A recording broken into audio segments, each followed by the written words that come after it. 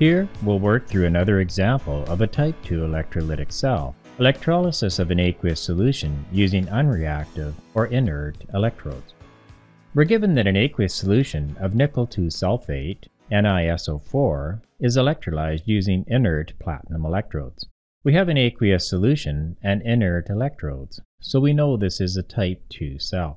We can visualize the solution as mobile nickel 2 plus ions, sulfate ions, and a large number of water molecules all moving in the solution. Now we'll make a diagram based on what we have. In the solution we have Ni2 plus ions, sulfate ions, and water molecules. We'll represent the cathode here with a C minus, and the anode here with an A plus. Question A asks us to write the half reaction taking place at the cathode. At the cathode, either nickel 2 plus ions or water will be reduced.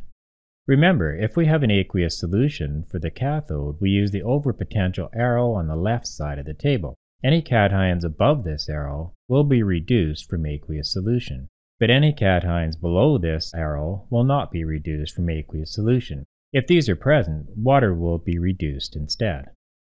So for the cathode, we use the overpotential arrow on the left, right here we see that the half reaction for the reduction of nickel 2 plus is higher than this arrow.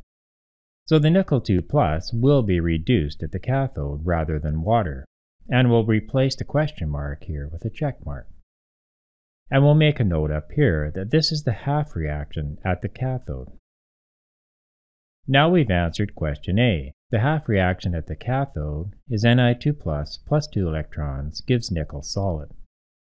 Question B asks what is the product at the cathode? We can see from the half reaction that the product at the cathode is nickel solid, or nickel metal. The surface of the cathode will gradually get coated with nickel as this process occurs. Question C asks us to write the half reaction at the anode. At the anode, either sulfate ions or water will be oxidized. When we're considering the anode, we go to the right side of the reduction table. In aqueous solutions for the anode half reaction, we use this overpotential arrow on the right. Remember, any anions below this arrow will be oxidized from aqueous solution, but any anions above this arrow will not be oxidized from aqueous solution. If one of these are present, water will be oxidized instead. We see that the sulfate ion is above the overpotential arrow on the right. This means that sulfate will not be oxidized when water is present.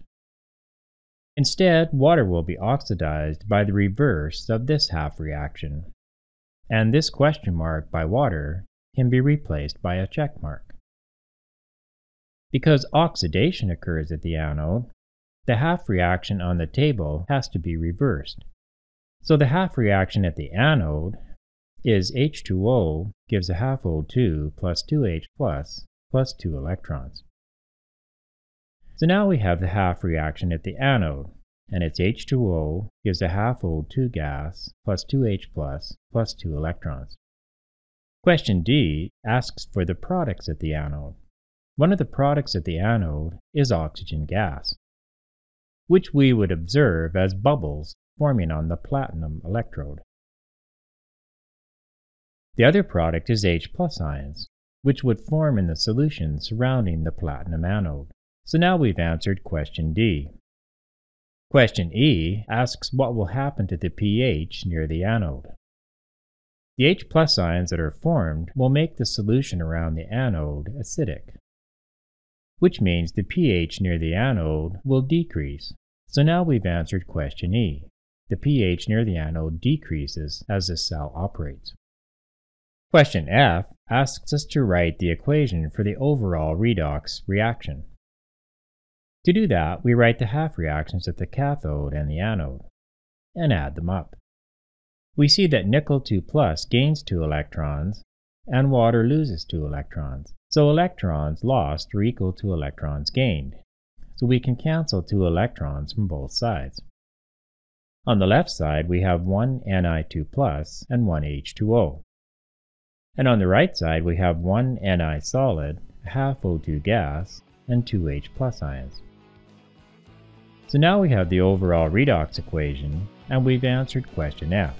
If you check, you'll see that both atoms and charges are balanced.